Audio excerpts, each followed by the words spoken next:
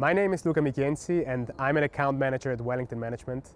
Uh, I'm also a, a CFA charter holder since August of 2021 and I joined the CFA Society as a volunteer first uh, on the career um, committee and then later transitioned to the membership committee. Now the, with the membership committee we're really focused to show what the value is of uh, being a member of the society. Uh, the society has more than 3,500 members and over all the years I was able to make uh, many, many very, very valuable uh, connections with very sophisticated members.